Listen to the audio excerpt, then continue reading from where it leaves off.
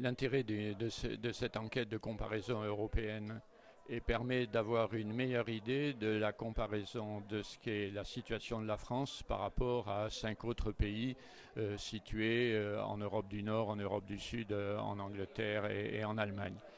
Elle montre que la France, un peu comme l'Allemagne, est en situation assez classique avec des bureaux individuels fermés qui gardent un poids relativement important. Mais euh, l'enquête que l'on avait faite en 93, euh, non, non, en 2013, pardon, nous permet de voir que la France évolue vers euh,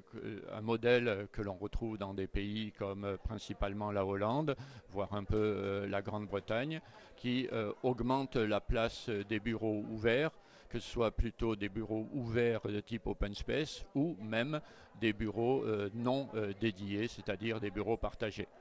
Euh, cette évolution a, comme conséquence que euh, les Français aujourd'hui qui sont dans les open space ne sont pas très contents de la qualité de leur espace de travail, mais on voit aussi que convenablement aménagés, ces espaces de travail peuvent être des espaces tout à fait satisfaisants en termes aussi bien de bien-être que d'efficacité de l'activité de travail.